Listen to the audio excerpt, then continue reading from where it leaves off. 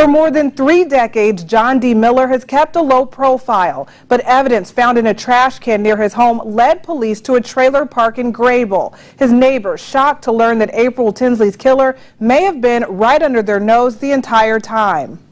A crack in a decades-old case. Gives me chills up and down my spine.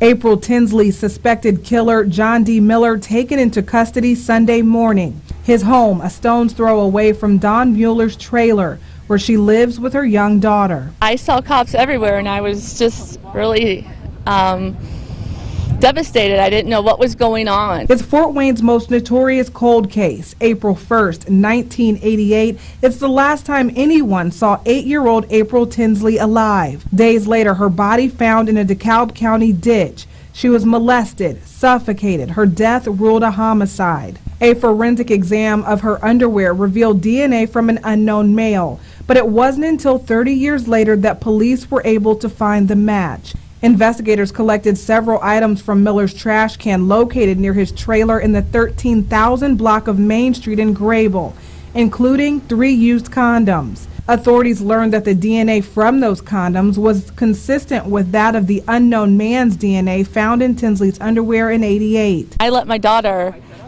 play right here in my yard or across the street and by the softball diamonds. And as a child for myself, my cousin and I used to run these streets. Miller was called in for questioning, and when asked if he knew why the police wanted to talk to him, he replied, April Tinsley. According to a probable cause affidavit, Miller admitted to abducting Tinsley from Hoagland Street in Fort Wayne. He said he took her to his trailer and had sex with her. He reportedly told police he choked her to death so she would not report him. Then he dumped her body the next day. I would drive every morning from work and I would see him get out of his car. And I couldn't imagine that it would even be him. Had no idea.